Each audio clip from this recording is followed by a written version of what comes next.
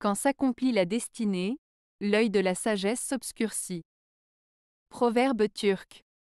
Ce proverbe turc signifie que lorsque quelque chose est destiné à se produire, même les personnes les plus sages peuvent être aveuglées par leur propre sagesse ou leur propre compréhension des choses.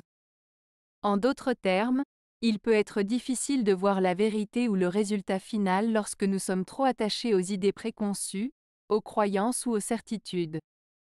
Parfois, la vie nous surprend et nous devons être ouverts à cela, même si cela remet en question nos convictions les plus profondes.